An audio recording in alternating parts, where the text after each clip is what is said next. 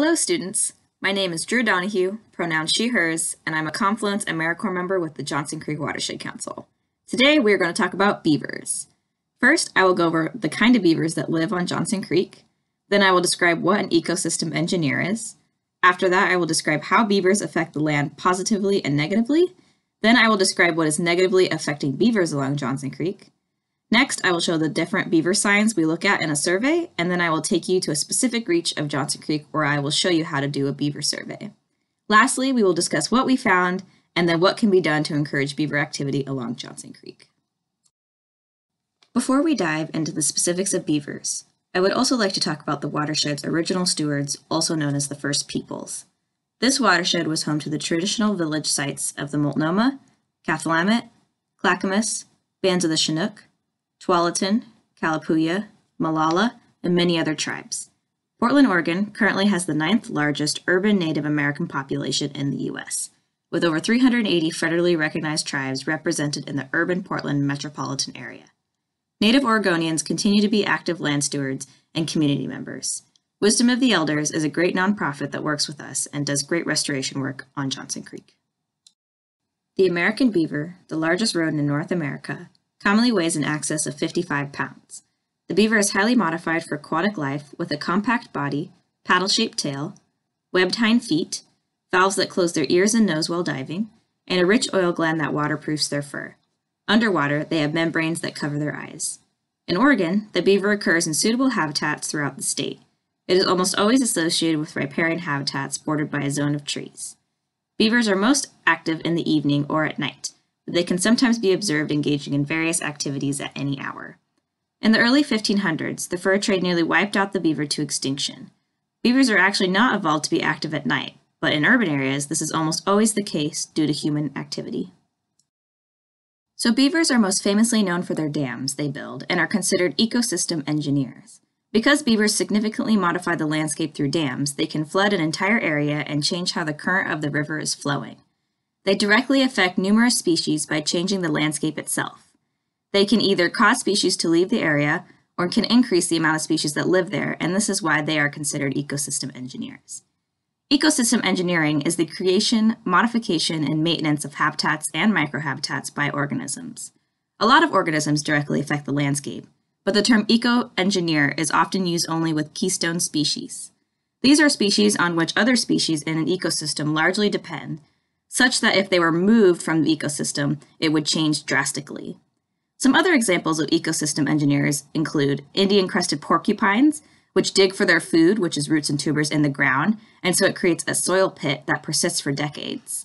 There's also shelter building caterpillars, which construct leaf shelters such as leaf rolls, ties, folds, and tents. And these new microhabitats are used concurrently and subsequently by many other arthropods. Lastly, there's also harvester ants, who build mounds to house their colonies. In most cases, the incident and abundance of plant species is higher on these harvester ant nest mounds than on adjacent undisturbed soil. So what do these dams do? How do they change the landscape? These dams modify the peak flows, either lowering them or increasing them. They store flood water, decrease velocity by slowing the water. They trap fine sediment, they create wetlands, which is pretty significant because they can create a whole habitat that hosts lots of endangered species and can absorb water. They store woody debris that flow down the river, create slack water for juvenile fish. This is pretty important because Johnson Creek is one of the only rivers in Portland that still has threatened endangered salmon, and slow moving water is critical for juvenile salmon. They also create nesting habitat for birds and other animals. They recharge and or elevate the water table, and they increase habitat complexity. There are a lot of amazing benefits that beaver dams can bring, but what are some negative ways that beavers affect the land? They can cause flooding, which can cause damage to homes that cost millions.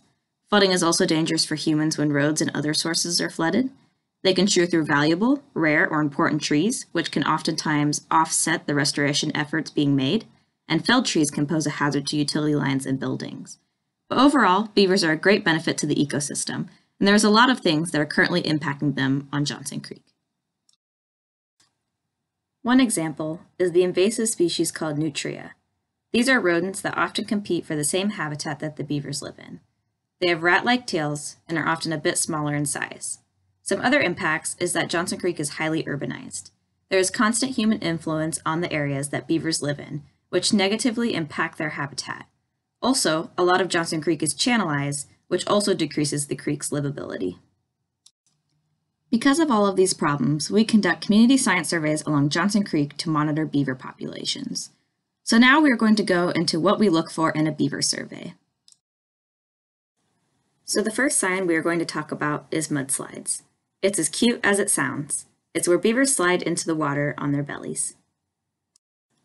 The next sign is lodges. This is where the beaver lives. Most of the time, they are underwater in the back of a dam, the side where the water is pooled up. But sometimes they can be on the side, like in the picture on the bottom right. Next is dams. This is where they have built a wall of logs and branches to block water passage. But be careful to distinguish between a beaver dam and a log or stick jam. Look for other evidence around the dam to be sure. Another sign is bank tunnels. Sometimes there isn't enough room for a lodge, so they would create tunnels into the side of the bank where they sleep instead. A very common sign is beaver chews, where they have chewed away at some type of wood in order to add this to their dam they are building. There is usually a lot of these around. Look for the grooves of their teeth on the wood. Next is canals. Rather than haul wood over things and on land where it's heavier, beavers will create canals to more easily transport the wood. Lastly is scent mounds. These are not as common to find. This is the time of year when two-year-old beavers leave their lodges and strike out on their own, primarily because the woods surrounding a pond usually can't support more than one family of beavers. Beavers are exceptionally territorial. Once they've established a lodge, they do not take kindly to interlopers. In order to make this perfectly clear to house hunting young beavers, in the spring, resident beavers build what are called scent mounds, piles up to three feet in height, but usually much smaller, of mud, leaves, and pond bottom debris around the perimeter of their territory. They then smear castoreum, a substance that comes from their castor sacs, over the mound. Chemicals in the castoreum convey to roaming young beavers that this particular pond is spoken for. So these are the types of signs we look for when conducting a beaver survey. At the Council, we use this data sheet to record all of the beaver signs we find. We take a data point every time we see a major sign such as a lodge or dam, which is in the white. If we find other signs like beaver chews, canals, or anything in the green area near the lodge or dam, then we circle yes or no for presence absence for that data point. Every time you find a dam, you want to give some more details such as the composition, which is either wood, mud, or grass, what those percentages are, if large wood is present, if it's active, which we determine by the color of the wood, typically gray wood means it's inactive, if the dam is intact, so if it's holding water still, and what the water height difference is from behind the dam and in front of it. I will now take you to Errol Heights, a wetland area near Johnson Creek that has multiple beaver signs so you can see for yourself. Hello students, we're here at Errol Heights Park located at Southeast 45th and Southeast Harney Drive and we're going to do a beaver survey. But before we do that, go ahead and take a look at this beautiful area here at Errol Heights Park. Um, this is a really nice wetland. Um, there's lots of wildlife here, such as ducks. We saw baby geese earlier, hummingbirds, squirrels, all kinds of wildlife that have come here because of the wetland that the beavers have created here. There's a lot of beaver activity here, which is why we're going to do our survey here today.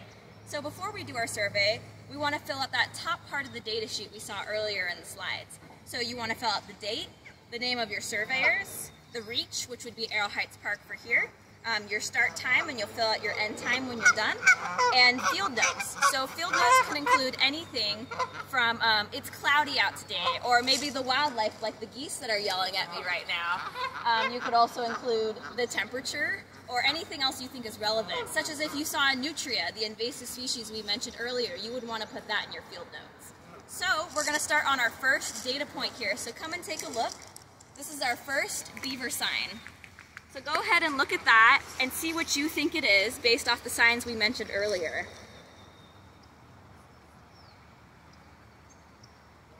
All right, so this first beaver sign is a dam. So that would be data point A on our, on our data sheet. So now that we know it's a dam, we would actually fill out that extra part of the data sheet, the pink side. So take a look at this dam. Um, our first question is, is what is the dam composition? So is it made of wood, mud, or grass, or all three, or maybe just two? So see what you think. So I think this dam is co comprised of wood and mud mostly. There's some weeds on top, but I wouldn't say that this dam is made of grass. So our next question is what percent of those compositions? So how much wood, how much mud?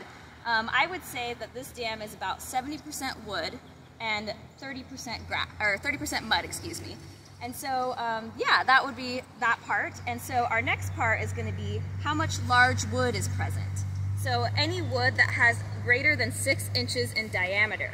So I actually see a couple in the front there. So I would definitely say that this dam has some large wood in it. And then is this dam active? So like I mentioned earlier, is there gray wood, which means it's inactive, or does the wood look pretty fresh? Um, when I take a look at this dam, I would say it's pretty fresh. I don't see a whole lot of gray wood represented, so I would say it's an active dam. Um, our next question is, is the dam active? Is it holding water? Um, is it intact? So I would say yes. If you look at the water level differences here, um, there's definitely a slope going on there. So the dam is holding water. So yes, it is intact. And then usually we would do the approximate water height difference. So we would get in there with a ruler and measure each side of the dam and its water and we subtract the difference to see kind of what the difference in water height is. So those are the questions that we ask ourselves when we find a dam and that is our first data point A. So as we mentioned earlier too, we have that green side of the data sheet which would be included in our data point A. So do we see any other beaver signs around this dam? such as beaver chews or canals or all the other signs we mentioned earlier which when I was looking earlier, we did find some other beaver signs. So we're gonna come on over here and take a look at the other beaver signs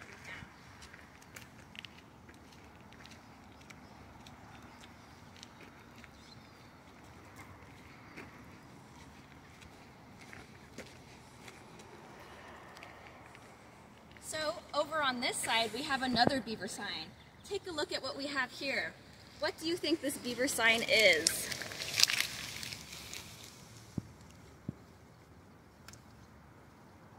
And then we have an example of the same beaver sign right over here.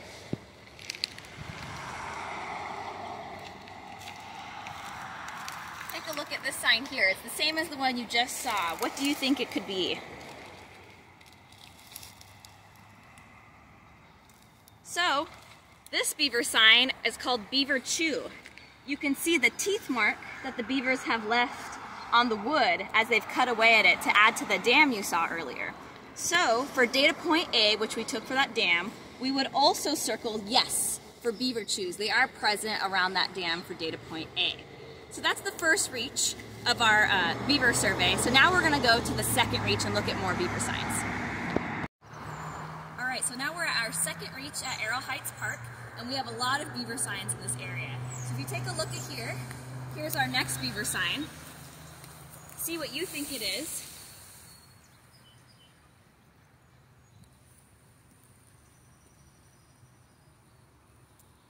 So this sign right here is what is called a canal. So this is where they took the wood and they, it was filled with water before and they took the wood so that way it was easier and they didn't have to haul it over land. Um, as you saw in the canal, there's a lot of little footprints in there. Possibly some could be beaver or nutria, and there's um, or other wildlife that use that little track there. And then another beaver sign that we saw earlier right here is this tree. So this is a really big beaver chew. As you can see, they've totally carved out the tree on the sides, and they've taken a big notch at the base too. Great, so now we're gonna come over here and look at another beaver sign we haven't seen earlier.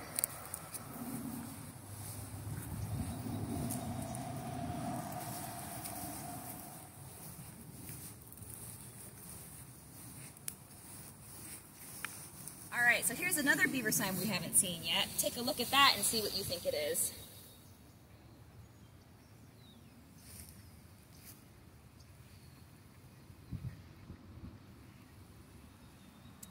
So that beaver sign was a mudslide. So that's where they slid on their bellies a couple times into the water.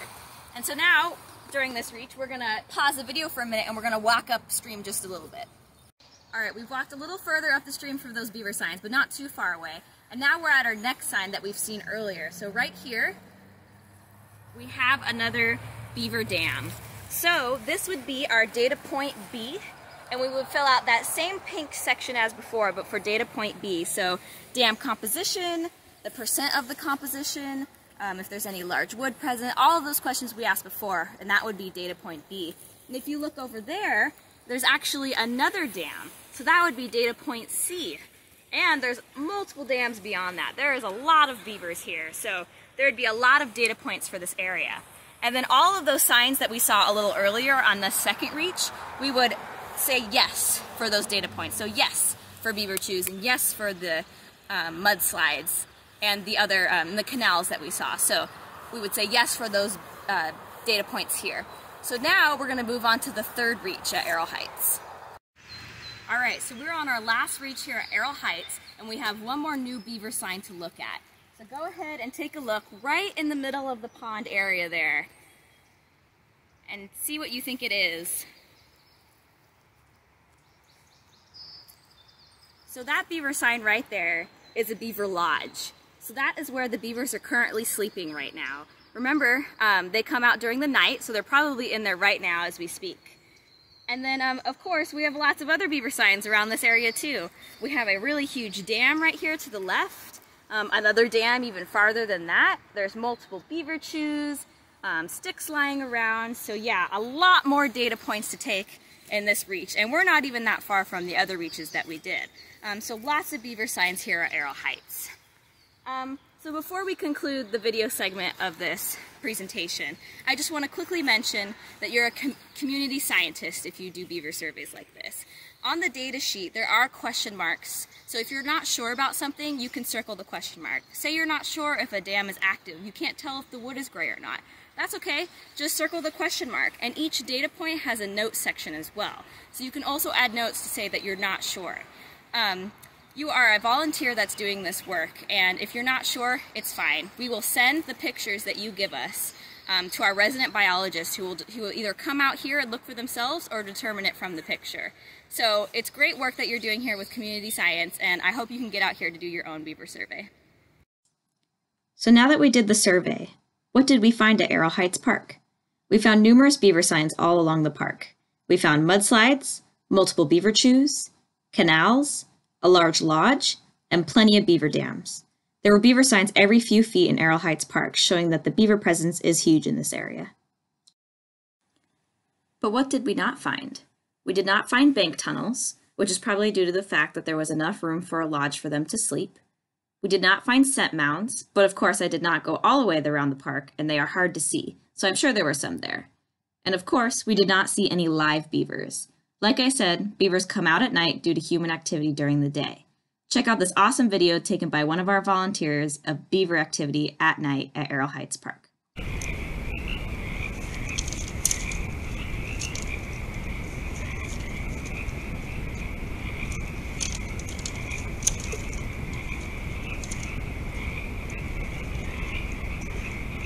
So there is a lot of beavers at this park.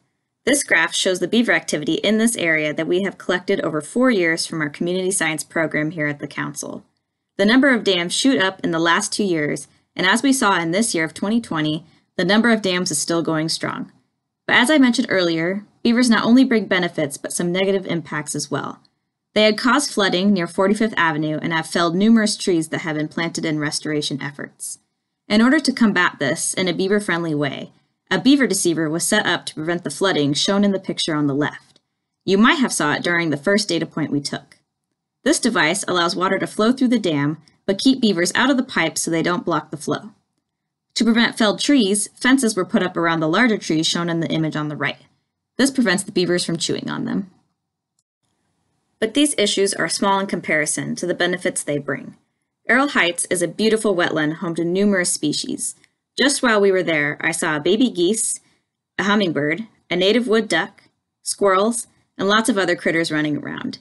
Here at the Council, we want to continue to encourage beaver activity by planting trees and creating suitable habitat. Thank you so much for watching Johnson Creek Watershed Council's beaver video. If you have any videos you would like to see in the future, please email the email provided in the comments. We also provide field trips, which include beaver surveys. See details below. Thank you again, and now please enjoy the next 30 seconds of some beavers chatting with each other.